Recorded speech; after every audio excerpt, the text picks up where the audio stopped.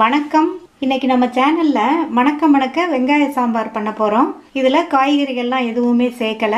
வெங்காயம் பருப்பு மணத்தோட இந்த சாம்பார் வந்து ரொம்ப டேஸ்டா இருக்கும்.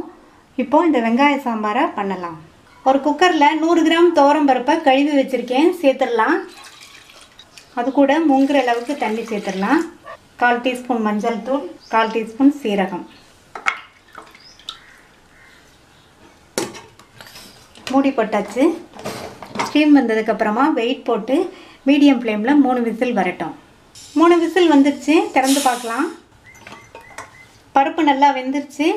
இந்த அளவுக்கு மலர வேக வச்சுக்கணும். அப்போ தான் வெங்காய சாம்பார் நல்லாயிருக்கும் இப்போ இதை இறக்கி வச்சிடலாம். கடாயில் ஒரு டேபிள் ஸ்பூன் நல்லெண்ணெய் விட்டுருக்கேன். நல்லெண்ணெய் சேர்த்துக்கோங்க நல்லாயிருக்கும் சூடாயிடுச்சு. அதில் ஒரு டீஸ்பூன் கடுகு. கடுகு பொரிய ஆரம்பிச்சிருச்சு. கொஞ்சமாக வெந்தயம் சேர்த்துக்கோங்க. ஒரு பத்து போல் இருக்கும்.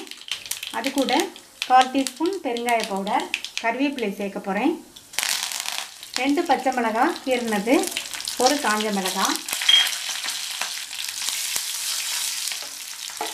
ஒரு நூற்றம்பது கிராம் சின்ன வெங்காயம் தோல் உரிச்சு வச்சுருக்கேன் அது சேர்த்துடலாம். இந்த வெங்காயம் நல்லா கண்ணாடி பதம் வர வரைக்கும் வதங்கட்டும். வெங்காயம் வதங்கிடுச்சு அது கூட ரெண்டு மீடியம் சைஸ் தக்காளி பழம் கட் பண்ணது அதை சேர்த்துடலாம். தக்காளி சேர்த்ததுக்கப்புறமா சாம்பாருக்கு தேவையான அளவு உப்பு சேர்த்துருங்க. இந்த தக்காளி வதங்கி வரட்டும். இந்த சாம்பாரில் காய்கறி எதுவும் சேர்க்கலை. வெறும் வெங்காயம் மட்டும்தான் சேர்த்து செய்கிறோம் இந்த மாதிரி வெங்காயம் மட்டும் சேர்த்து செய்கிற சாம்பார் வந்து ரொம்ப டேஸ்ட்டாக இருக்கும். காய்கறிகளே இல்லைனாலும் இந்த மாதிரி வெங்காயம் சேர்த்து சாம்பார் செய்யலாம். தக்காளி இன்னும் கொஞ்சம் வதங்கட்டும். தக்காளி ஓரளவு நல்லா வதங்கிடுச்சு. அது கூட அரை டேபிள் ஸ்பூன் தனி மிளகாத்தூள் அரை டேபிள் ஸ்பூன் மல்லித்தூள் சேர்த்துடலாம். இதுக்கு பதில் நீங்கள் சாம்பார் தூள் இருந்தாலும் சேர்த்துக்கோங்க. இதை லேசாக வதக்கி விட்டுறலாம். லைட்டாக மட்டும் தண்ணி தெளிச்சுக்கலாம். மசாலா பவுடர் சேர்த்ததுனால.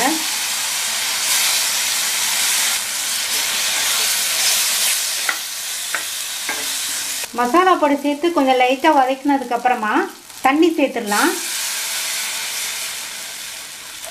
தண்ணி வந்து ஒரு ஒன்றரை கப் சேர்த்துருக்கேன். இது எல்லாம் சேர்ந்து நல்லா கொதித்து வரட்டும். மசாலாவோட பச்சை வாசனை போய் அஞ்சு நிமிஷமாக கொதிச்சிட்ருக்கு.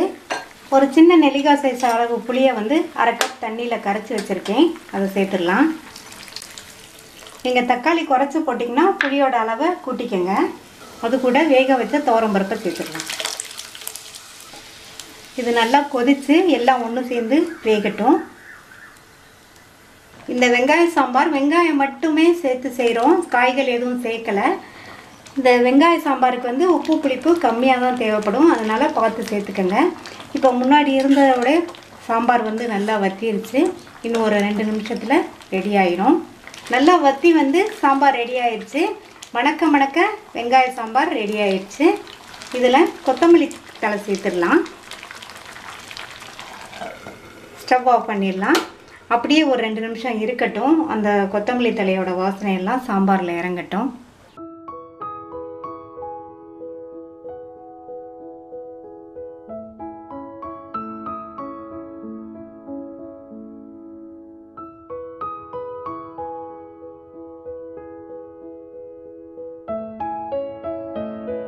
உருளைக்கிழங்கு மசால். வாங்க இந்த மசால் எப்படி பண்ணுறதுன்னு பார்க்கலாம். கால் கிலோ உருளைக்கிழங்கு வச்சுருக்கேன். கிழங்கு பெருசாக இருக்கிறதுனால ஒவ்வொரு உருளைக்கிழங்கையும் ரெண்டாக கட் பண்ணி குக்கரில் போட்டு ரெண்டு விசில் வேக வச்சு எடுத்துக்கலாம். ரெண்டு விசில் வந்துருச்சு. கிழங்கு வந்து கரெக்டாக வந்துருச்சு அதாவது ரொம்ப குழையாமல் வேக வச்சுக்கோங்க. இதை வெளியில் எடுத்துட்டு ஆறுனதுக்கப்புறம் தோல் விரித்து ஓரளவு பெரிய துண்டுகளாக கட் பண்ணிக்கலாம். ரொம்ப குட்டி குட்டியாக கட் பண்ணாமல் ஓரளவு பெரிய துண்டுகளாக கட் பண்ணிக்கலாம். இந்த மசாலாவுக்கு ஒரு பவுடர் ரெடி பண்ணணும். கடாயில் ஒரு அரை டீஸ்பூன் எண்ணெய் சேர்த்துருக்கேன். எண்ணெய் சூடானதும் அரை டேபிள் ஸ்பூன் தனியா விதைகள் ஒரு அரை டீஸ்பூன் மிளகு அரை டீஸ்பூன் சீரகம் அரை டீஸ்பூன் சோம்பு. இதை நல்லா வாசனை வர வரையும் வறுத்துக்கலாம். இது வறுபட்டுட்டு இருக்கும்போது மூணு காஞ்ச மிளகாய். இதையும் சேர்த்து நல்லா வறுத்துடலாம். காஞ்ச மிளகாய் வந்து நீங்கள் உங்கள் காரத்துக்கு தகுந்தபடி சேர்த்துக்கோங்க. ட்ரை ரோஸ்ட் பண்ணுறத விட எண்ணெயில் இதெல்லாம் சேர்த்து வறுத்தோம்னா மசாலா வந்து ரொம்ப டேஸ்ட்டாக இருக்கும். இப்போ நல்லா வறுபட்டுருச்சு. இதை எடுத்து ஆறுனதுக்கப்புறம் மிக்ஸி ஜாரில் சேர்த்து பவுடர் ஆக்கிக்கலாம். அடுத்து ஒரு அரை டீஸ்பூன் எண்ணெய் விட்டிருக்கேன். அதில் ஒரு கால் கப் அளவுக்கு வெங்காயம். ஒரு சின்ன சைஸ் பெரிய வெங்காயம். அதை வந்து இதில் சேர்த்துடலாம். இந்த வெங்காயம் கண்ணாடி பதம் வர வரைக்கும் வதங்கட்டும். வெங்காயம் வதங்கி கண்ணாடி பதம் வந்துடுச்சு ஒரு சின்ன சைஸ் தக்காளி பழத்தை இதில் சேர்த்துடலாம். சேர்த்துட்டு இதையும் வதக்கிக்கோங்க. தக்காளி சேர்த்ததுக்கப்புறமா ஒரு நிமிஷம் வதங்கிடுச்சு. இப்போது இதை எடுத்துட்டு ஆற வச்சு பேஸ்ட்டாக அரைச்சிக்கலாம். வறுத்ததை பவுட்ரு பண்ணியாச்சு. வதக்கின வெங்காயம் தக்காளியை பேஸ்ட்டு அரைச்சாச்சு. வெங்காயம் தக்காளி அரைக்கும் போது கொஞ்சம் கூட தண்ணி சேர்க்காமல் அரைச்சிக்கணும். இந்த மசாலுக்கு எண்ணெய் அதிகம் சேர்த்தா தான் நல்லாயிருக்கும் ரெண்டு டேபிள் ஸ்பூன் எண்ணெய் விட்டிருக்கேன். எண்ணெய் சூடாயிடுச்சு. அதில் அரை டீஸ்பூன் கடுகு சேர்த்துடலாம். கடுகு பொரிஞ்சதும் கருவேப்பிலை சேர்த்துக்கலாம். அதுக்கப்புறமா இந்த அரைச்ச வெங்காயம் தக்காளி பேஸ்ட்டை சேர்த்துடலாம். பேஸ்ட்டு சேர்த்ததுக்கப்புறமா கால் டீஸ்பூன் மஞ்சள் தூள் இந்த டிஷ்ஷுக்கு தேவையான அளவு உப்பு. சேர்த்துட்டு நல்லா ஒன்றா கலந்துடலாம். சேர்த்த பேஸ்ட்டை வதக்கியாச்சு. ஏற்கனவே நம்ம வதக்கி சேர்த்ததுனால வேகமாக வதங்கிரும். இப்போ கட் பண்ணி வச்ச உருளைக்கிழங்கு சேர்த்துடலாம். உருளைக்கிழங்கு சேர்த்ததுக்கப்புறமா நல்லா ஒன்றா மிக்ஸ் பண்ணி விட்டுடலாம். இந்த மாதிரி உருளைக்கிழங்கு வந்து பெரிய சைஸாக இருந்தால் தான் நல்லாயிருக்கும். இந்த மசாலாவை லஞ்ச் பாக்ஸுக்கு கொடுத்து விடலாம். நம்ம எங்கேயாவது ஜேர்னியாக போகும்போது வெரைட்டி ரைஸ்லாம் எடுத்துகிட்டு போவோம் இல்லையா? அதுக்கும் நல்லா இருக்கும் அது. கொஞ்சம் கூட தண்ணி சேர்க்காம இந்த மசாலா நம்ம ரெடி பண்ணுறதுனால வேகமாக கெட்டு போகாது.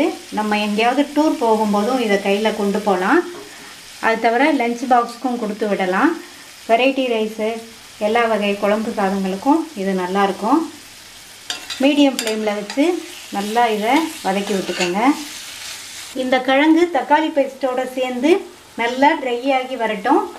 அது வரைக்கும் வேக வச்சுக்கலாம். நீங்கள் கிழங்கு வந்து குழையாமல் வேக வச்சாதான் இந்த மசாலாவுக்கு நல்லா கிண்டுறதுக்கு எல்லாம் நல்லா இருக்கும். கிழங்கு பேஸ்ட்டோடு சேர்ந்து நல்லா ட்ரை ஆயிடுச்சு. இந்த ஸ்டேஜில் நம்ம பவுட்ரு பண்ணி வச்சோம் இல்லையா? அதை வந்து தூவி விட்டுடலாம். தூவி விட்டுட்டு நல்லா கிளறிடலாம். கிளறதுக்கு இந்த மாதிரி அகலமான கரண்டி வச்சுக்கோங்க. அப்போ தான் நல்லாயிருக்கும் பொடி சேர்த்ததுக்கப்புறமா நல்லா கலந்து விட்டாச்சு.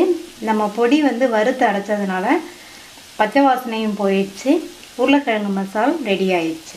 நீங்களும் ட்ரை பண்ணி பார்த்துட்டு லைக் ஷேர் அண்ட் கமெண்ட் பண்ணுங்கள் தமிழ் ஃபுட் கார்னர் சேனலுக்கு சப்ஸ்கிரைப் பண்ணுங்கள் தேங்க்யூ